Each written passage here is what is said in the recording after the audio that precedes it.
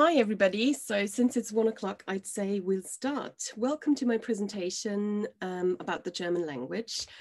And today I'm going to talk about the question, is life too short to learn German? Um, as a German native speaker, of course, I have to say no. And I'd like to introduce myself. My name is Barbara Gräff. I am from Austria, from Salzburg. Yes, Austrians do speak proper German as well.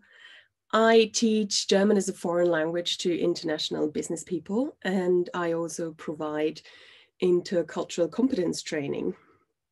I'd like to guide you through the topics to what I'm going to talk about today. So the first uh, part will be, I'll give you three reasons why you should learn German. Uh, the then I'll move on to the more practical part. And I'd like to introduce you to three important verbs. At least I find that those three verbs are very important because once you know those three verbs, you can say quite a few things and then we combine those verbs with the W questions and then you can create questions. And that's basically half the battle. Then you basically speak German. Then we're going to talk about the scary topic of the der/das articles. And, and I'm going to tell you um, one strategy that I use for my students and um, what I think is a good way to learn the articles. Then um, we, I'm going to show you that German is a fun language and I'm going to talk about Lego words, which I call them Lego words, but the actual term is compound nouns. And then I'm going to give you some like general advice and strategies on how to best learn German. And then I would like to finish with a German language quiz. and um, if you have any questions, feel free um, to either interrupt me if you feel like they're really important questions, or please ask them at the end. There will be enough time to ask questions at the end. Okay, three reasons, three good reasons why should you learn German? Um, well, one good reason is there are 90 million native speakers. So German is not just an official language in one country, but German is an official language in Austria, Germany, Switzerland, and Luxembourg. So once you learn this language, um, you have uh, four countries where you can practice the language in. Um, it's the most widely spoken native language in Europe, and it also ranks among the language with the most native speakers worldwide. Um, another good um, reason is that for English native speakers, it should be relatively easy to learn the language because English and German both belong to the West Germanic group of the Indo-European language family. So there are thousands of words which are closely related. For example, so the German word for garden is Garten, Is Wasser. Apple, the German word is Apfel. So I think you see what I mean. Some words are even the same, like the word tunnel means tunnel. So they're very similar. Okay, another, sorry. Um, learning German is of course a good uh, idea from a linguistic point of view, but also in terms of economic opportunity, networking potential and cultural gains. So Germany has the fourth largest economy worldwide, and it is also the largest European trading partner with the US. Um, and if you'd like to study in Austria, Germany, you need to know that the university is for free. So it's a very good idea to learn German because then you can study for free. And uh, the universities rank among the most, the best ones worldwide. Okay, I see there are some questions already. Yes, in some parts of Belgium, it's also um, an official language. Very true. Okay, let's move on to the more practical part. There are three important verbs I'd like to introduce you to. So um, I'd like to start with sein. Sein is to be. So sein is a bit irregular, so you conjugate it away. Ich bin Du bist, er, sie, es ist. Wir sind, ihr seid, sie sind. And then this, the last one, the sie, is you formal. it is capitalized. So it's capitalization is not optional in German. You really have to capitalize certain words. And the Sie with a capital S means it's the formal part. Yeah, so it means you are in a formal way. So that's to be. Let's give you, I'm going to give you some examples. So, ich bin Barbara. I'm Barbara. If you want to then ask a question, all you have to do is start with the verb, put the subject second, and then the rest follows after. So, bist du Barbara? Are you Barbara? Ich bin aus Österreich. I am from Austria. If you want to ask somebody again, you start with the verb bist du aus Österreich? So that way you can create yes or no questions, which means questions where the answers can only be yes or no. Ich bin hungrig. Bist du hungrig? So ich bin hungrig. Hungrig is, uh, again, sounds very similar like another English word. So I am hungry. Yeah. One rule in German, because as I said earlier, same language family as English, if it sounds similar to an English word, it's very likely that it has the same meaning. So you can always kind of guess what it means. So, bist du hungrig? Are you hungry? Okay, let's move on to the second. Um, excuse me. Uh, yeah. Why bin becomes bist there? Sorry. It's like like a ich ich bin. Then when you have to like ask a question, becomes bist. I think. Yeah because we here we saying are you hungry yeah so bist would be for you bin is for i am hungry oh okay so i'm sorry i thought it was the same word so if you want to ask yourself so you can of course you can ask yourself but you would if you want to ask yourself am i hungry you can then say bin ich hungrig yes but i thought it would make more sense if you ask somebody else are you hungry so you would say, bist du hungrig? Yeah. Actually, it is uh, very logical, especially if somebody wants to go on a diet or think that uh, he's like a fat, and then like uh, he just thinks that he's hungry, but when actually he's not hungry, he's just maybe bored. so yeah, maybe. I mean, yes, you can ask yourself these questions definitely. Yeah. so. Yeah. If we go back here at our chart, so that would be here, du bist that would be the you are, yeah? Yeah, of course you can ask yourself, you could say, am I hungry? Yeah, bin ich hungrig? Okay, let's move on to haben. Haben to have, yeah? Haben changes for the second and the third person. So ich habe, du hast, the B changes to an S. Er, sie, es hat, wir haben, ihr habt, sie haben, and sie haben. Again, the Sie with the capital S is formal, yeah? Okay, there are some questions. Just give me a second, I'll ask. Hast du Hunger is actually much more common. Yes, it is very common. Um, you can say ich habe Hunger. Same in German. There are two ways of asking bin, ich bin hungrig oder bist du hungrig. Ich bin hungrig means I'm hungry. Ich habe Hunger literally translates to I have hunger, same as in French, similar construct, or Italian, similar construct, I have hunger. Um, it's, it's a personal preference whether you want to say ich bin hungrig oder ich habe Hunger. It's both the same, doesn't really matter. Uh, can you put the slide back because I want to uh, copy from for uh, to be verb because this oh. one. Yeah, yeah, yeah, yeah, yeah. That one. Sorry. Yeah. So um, if you can, I'm gonna write that in the chat. So ich habe. Um, I think I need to change it to all. Um, so let me know. Is are you done with it or? Uh, just zin, zin. Yeah, that's it. Okay. So um, let's have a look at some examples. So ich habe einen Hund.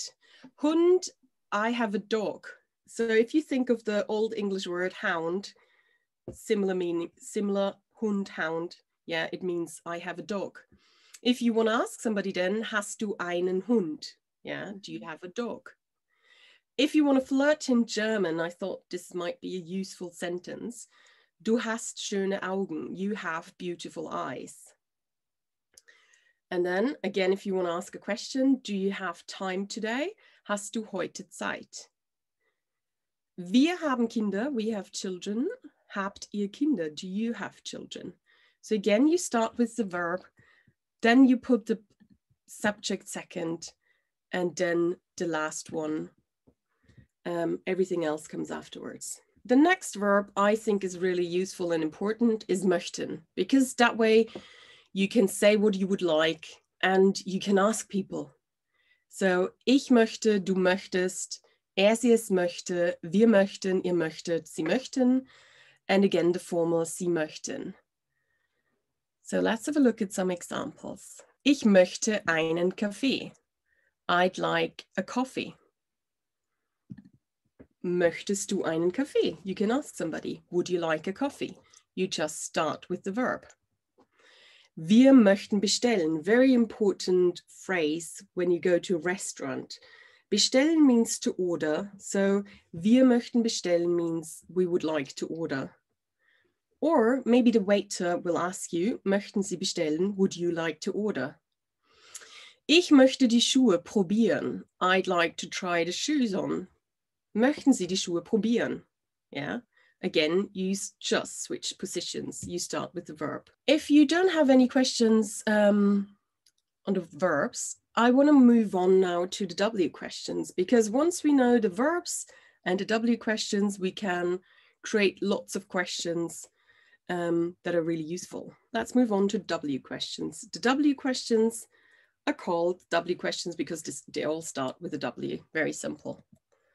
So the first one, Wie. Wie is how. Wie geht's. You've probably all heard the question Wie geht's. Wie geht's means how are you? Literally, we asking how is it going? The next one, was. Was is what? So was ist das? What is this? And then wer. Wer might be a bit confusing for English native speakers because wer is not where, it's who. Yeah, so you're asking for a person and not for a place. So wer ist das? Who is that? Wo, again, this is a false friend with English. So wo is not who. Wo means where. So wo bist du? Where are you? That's asking for a person's location. So if we want to know where a person is from, we would ask in English where from. So we have two words we need. In German, we just have one. So we put where and from together, woher. So woher kommst du? Where do you come from? Woher always is the direction um, towards you. So woher. And then the opposite would be wohin, which is where to. So wohin gehst du would mean where are you going? Yeah. So if somebody would stand up now, if I would stand up now, you could say to me and leave, you could say to me, wohin gehst du? Where are you going? And then the last two, warum, why. So some people might ask you, warum lernst du Deutsch? Why are you learning German? And then we have wann is when. Wann hast du Zeit? When do you have time? Yeah. Okay, let's combine some of those W questions now with some of the verbs we've learned. So, woher bist du? Woher, where from? Bist du? Where are you from? Wer ist das? Who is this? Or you asking, wo bist du? Where are you? Was möchtest du? What would you like? Um, so I can see in the chat that somebody asked like W sounds like V. Yeah, woher. Very important when it comes to pronunciation. So um, the W sound in German is called labiodental, so which means your teeth touch your lower lip. Yeah, so it's not like the English sound where it's a w, w, a y. In English, your teeth don't touch your lips when you pronounce this letter, but in German, your teeth touch your lower lip. So you'd have to say wer, woher, as you can see here, wo, yeah? So touch your lower lips. Let's move on to a very scary topic now, the German articles. I'm sure you've seen, so we have daddy das, yeah? Those are the three articles and we need to, unfortunately, we cannot just ignore the articles, we need to learn the articles, yeah? So um, I'm sure you've seen all those memes about German article um, because um, the articles are quite tricky to learn. Um, when we learn the German article, when you learn a new noun, you always should learn it with the articles, yeah? And of course, there are certain rules. Um, so when we look at der, so there is a natural gender in German. So um, männliche Personen, which means all men are always going to be der. Same for professions, yeah.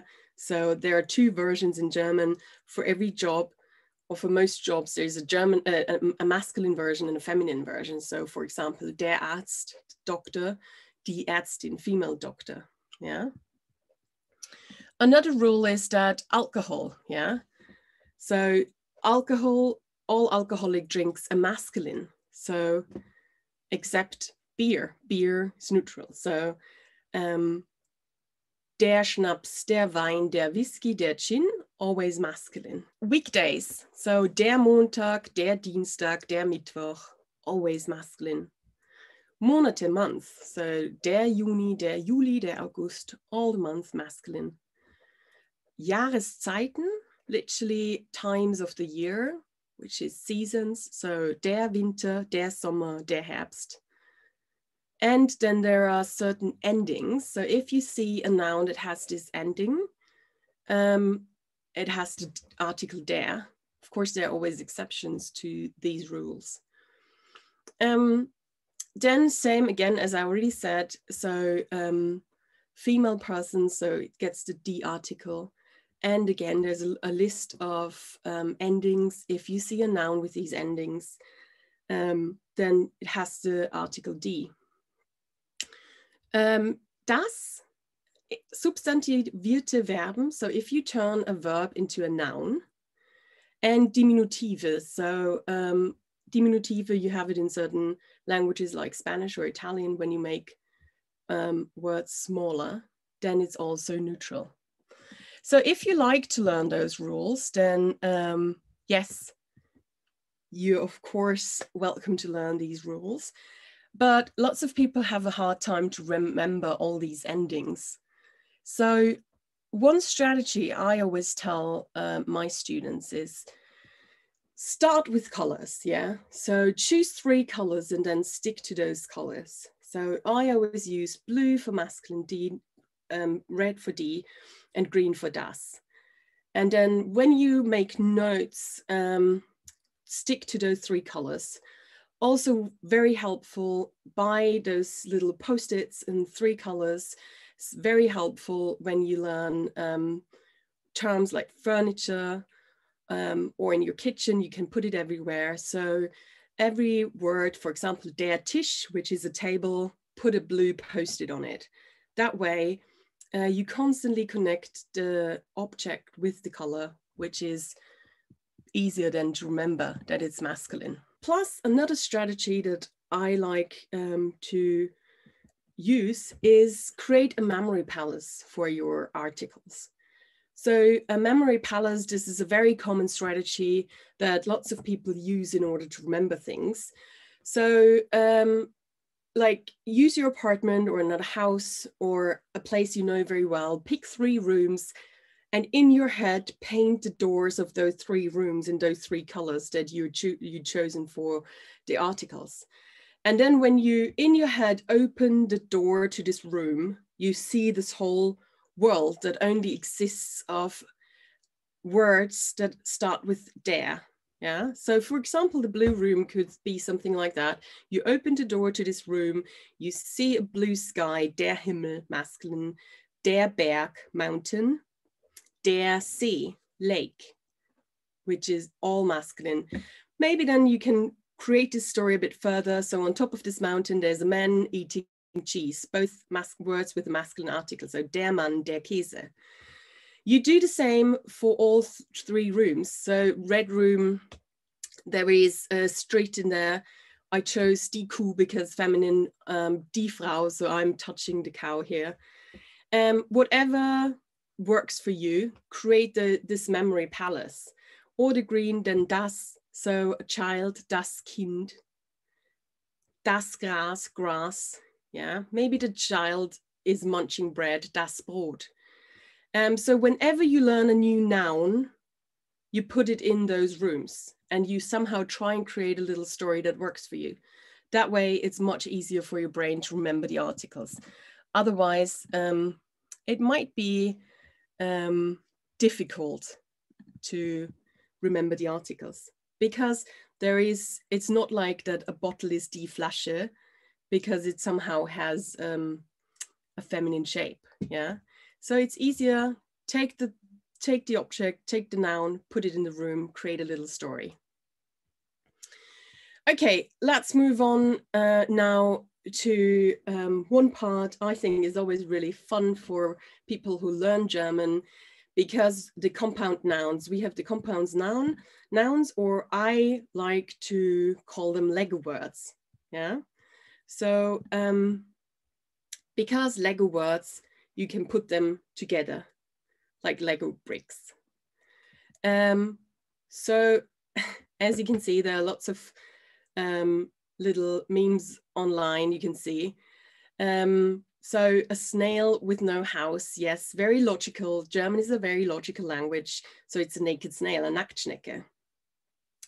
Uh, flying things, so a fly stuff is a Flugzeug or gloves, yeah, cover your hands, look like shoes, Handschuhe, yeah, so hand shoes, gloves. Or a Fahrstuhl, yeah, a driving chair literally, or a Schildkröte, a shield toad. There are all kinds of these fun words. So, um, and Lego words, lots of nouns that work with lots of other nouns. So Zahn, for example, Zahn is a tooth. Zahn works with lots of other nouns like Zahnspange, Zahnpaste, Zahnbürste, Zahnschmerzen. Yeah, so you sometimes there are even created new Lego words. Some of the very literally and quite fun ones, I think. Zahnfleisch, again, another word with Zahn. So it literally means tooth meat, which is the gums. Yeah. Handschuhe, we heard that word before. So gloves, yeah, hand, shoes for your hands. Another nice German word is Kummerspeck, so sorrow bacon.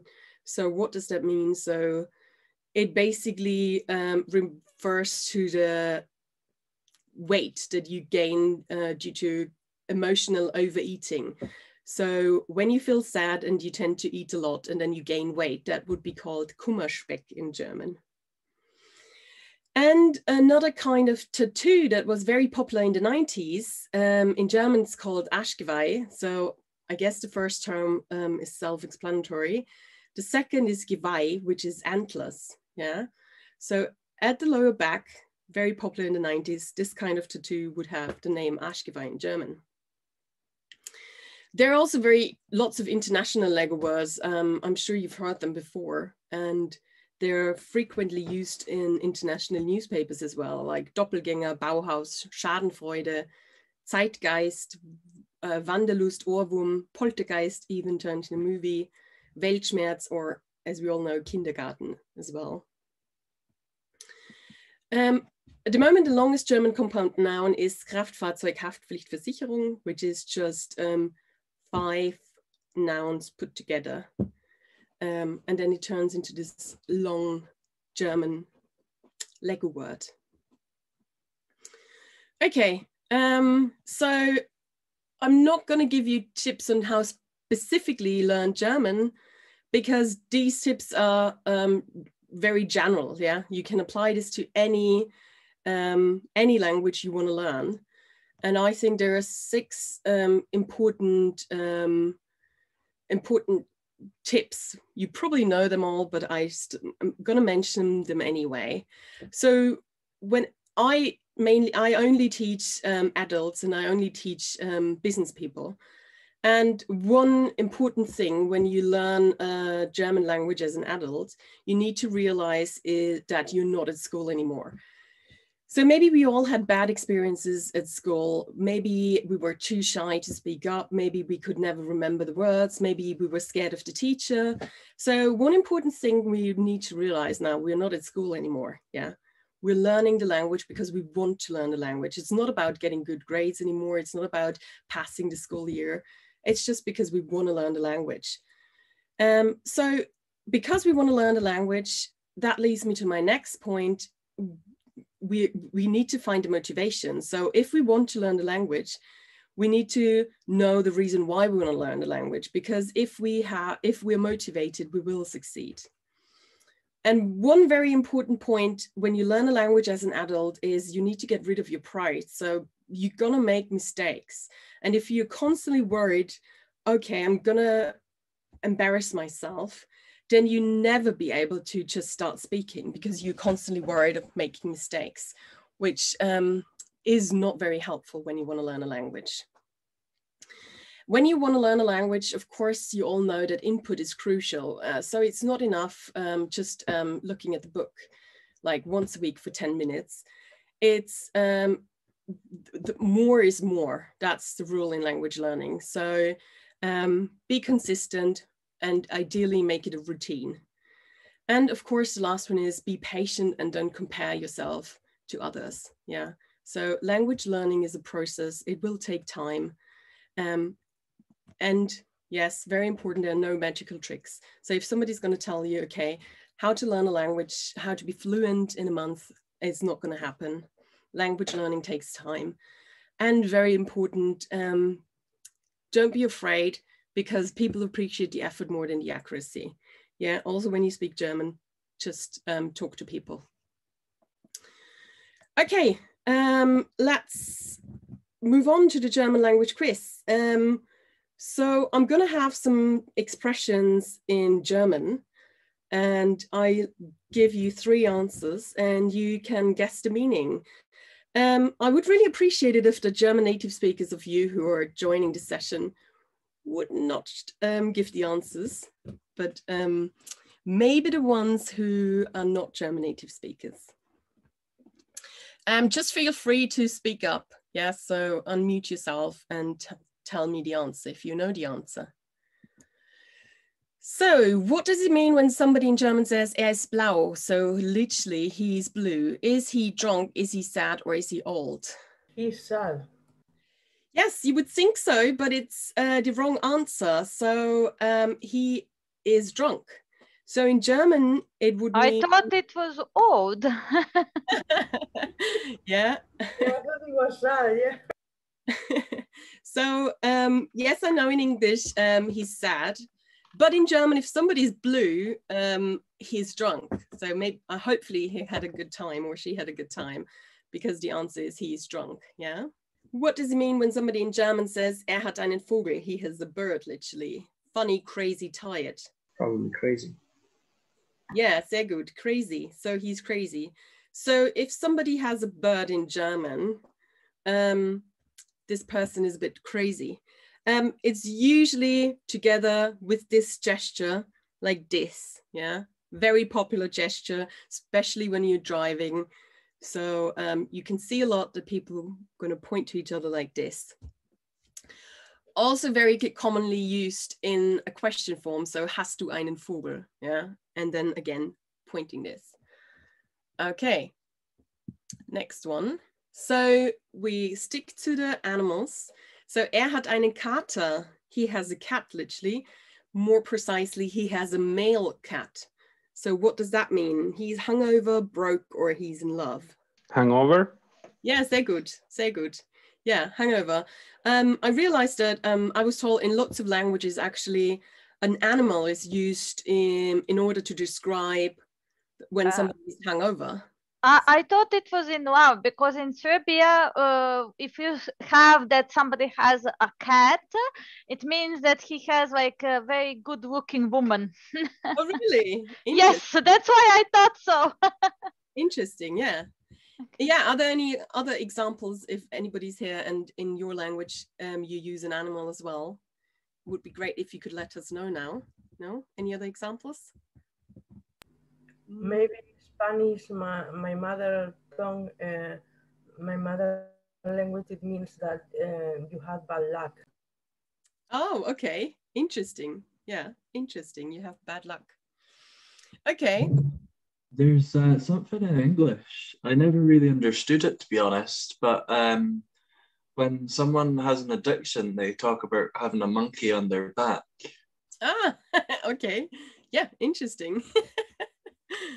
okay, I've never heard that before. Yeah. So lots um lots of animals used for certain expressions. Okay, um a very common word used in German language is the word sausage, Wurst. So what does it mean when somebody German says, does this mir wurscht? Yeah, that makes no sense. I don't care. That's great. I don't care. I don't care. Yeah, sehr Yeah. gut. I don't care. Sehr good. Okay, why is that? I don't care. Is because when you look at a normal common sausage, it looks the same on both ends. So um, if basically somebody says to you, um, would you like pizza or spaghetti for dinner? And you say mir Wurst, yeah, you can even shorten it. You can just say mir Wurst. It means it's both the same to me. I really don't care. Yeah. It's a very common expression used. Um, and yeah, it's a fun expression. Like I think it is. Is it more like um, I don't care or I don't mind? Um, it's both to be honest. Yeah, it's both. Yeah, you can um, use it in both ways. Um, yes, I can see that there is a hand raised. Uh, yeah, I'd like to add to this expression actually two theories around it. The one you just mentioned, and the other one is a little more disgusting and goes back to the ages where there was still poor vegetation in Germany. And they had to best utilize whatever part of the animal. So after all, in lungs, heart, kidney, and other innards, it all ended up in a sausage. So after all, it doesn't really matter. People don't really care what a sausage is like, as they know it just um, contains any part of the animal. Yes, that's that's uh, another explanation where this Yeah, yeah, but I also know about the one you mentioned. Was actually some dispute. um, and being a vegetarian myself, I always like to avoid this explanation. But thank you very much for giving the explanation. Okay.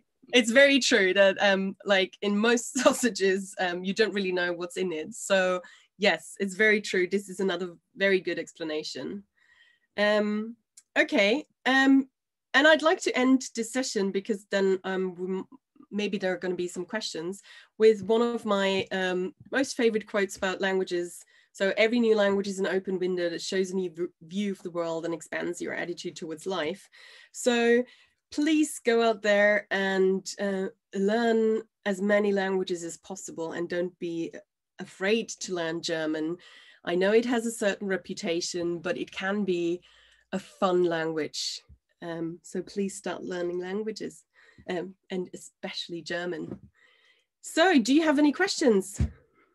If yes, please feel free to ask me anything. I have a question. Like, how can I pronounce the German A, like the letter? Yeah, it's a very open letters. Uh, danke, ah, danke. If it's at the beginning of a word, Apfel, yeah, ah. No, I mean the German R, like the. Oh, the, the German R. Oh, sorry, I thought, yes. sorry. The German R. Oh, yes. Oh, the German R. Um, the German R is um, lots of people have problems with it because the German R, you don't roll the German R. Yeah, your tongue is not involved. It's back there. So when you say the German R, you basically feel it back there.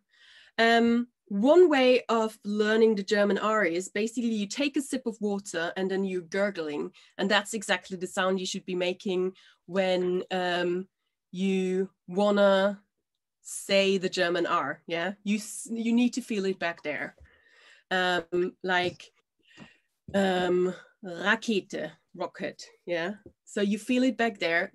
It's yeah here, no tongue involved. Um, like So it's it's not like French. It's different, right? yeah, it's a bit different. Okay. Okay, there are other questions. Ma- Vanessa, I think, was first, and then Mariana. Uh, no, you actually said what I was about to say. So when I'm teaching how to pronounce the German R, I introduce the exact same hack to take a sip of water and then just start gurgling. Mm. And secondly, for those who speak French, it might be of help to know that it's phonetically the same sound. So in terms of phonetics, it's exactly the same as in French, as in rouge. The same we say rot in German. Yeah it's still slightly different when it, when you say it but it's it's phonetically the same sound. Yes you're right. Um, try to, to i mean of course there's some variation. Uh, mariana. Yes hi I would like to know uh, three things. If you could recommend us like some singers, bands in order to learn German uh, because of the pronunciation that could be clear, or tongue twisters, or and also like some series that you think it could work, it could help, or something. Yes. Okay. Let's start with the series. So it, it depends how um how advanced your German is already you are already. Um, what I always think works the best if you're not super advanced yet is um, watch like watch a series in German that you know by heart. Yeah. So uh, thanks to Netflix, uh, we can usually change the um, language. So if you've seen every single episode of Friends, just um, you know what's going on. Um, so watch the German, uh, watch Friends in German and use the German subtitles. Yeah. So sometimes when they speak in German or in any language, it's difficult to understand them. And then it helps um, when you can also read the German word. It makes it easier to understand. Um, if you're really advanced already, there are lots and lots of um, shows on Netflix or Amazon or whatever um, that are really good as well. It depends what kind of genre you like. Um, but and um, how how helpful it is to watch uh, some TV series that is doubled in German already, but to choose, uh, for example, another language that we are already fluent uh, with, like for example English or whatever. Do you find it helpful? Um yes it i it, it's definitely helpful because it it is um you it helps with your understanding. So you can um you you get more used to the sounds. You hear people um how how certain words are pronounced how it sounds in german. Yes yeah, so it's definitely helpful. The, only problem is that we tend then to mainly read the subtitles rather than um really listen to the words. Yeah so that's why I sometimes, um, I usually suggest that people, if they're, that, that, that they listen to it in German and have German subtitles if they're not total beginners. If they're total beginners, yes, of course, that's going to be difficult. But if you already have like a, a, an average level, like or like A2, for example, I would really suggest that you watch it in German and the subtitles. Then what I also can recommend is there are plenty of podcasts like um, on uh, Spotify, for example, Deutsche Welle or Coffee Table. Um, you find lots of good um, uh, um, podcasts on Spotify. Um, there is also um, a German magazine which is just for learning languages, learning German, which is called Deutsch Perfekt. And when you look at their website, they always have certain articles as well um, that you can read for free. You can do certain like quizzes or you can listen to certain things online as well, but you can buy it in in certain shops. Um, I, they, you can usually buy it international airports and train station, which is and it's called Deutsch Perfekt. Um, or you can just um, yeah order it online. Um, there are plenty of good songs if you um, if you have Spotify, type in Deutsche Poesie, for example, you get lots of beautiful German songs. There are um, lots of German singers that have really good songs. Um, it, it again, it really depends. Yeah, Rammstein, as I see in the chat. Yeah, Rammstein. I mean, everybody knows Rammstein. I must say, I do use Rammstein in my German lessons every now and then because um, everybody knows those songs, and you can do learn. You can learn quite um, some good songs. For example, Du hast, I always use Du hast, yeah, the song, because it's actually a clever combination of the past tense and German, German past tense, and it plays with words because everybody thinks Du hast means you hate, but then it goes on, Du hast mich gefragt. So that's actually the German past tense. So it's quite a clever combination. Du hast mich gefragt und ich habe nichts gesagt. Ja, sehr gut. And, and also because it's very slow song, so it's kind of easy to sing. yeah, true, very true. Yeah, Mark Forster, Tim Bendzko, Max Giesinger. Yes, very true. Um, lots of those songs. Um, whatever you like, German rap.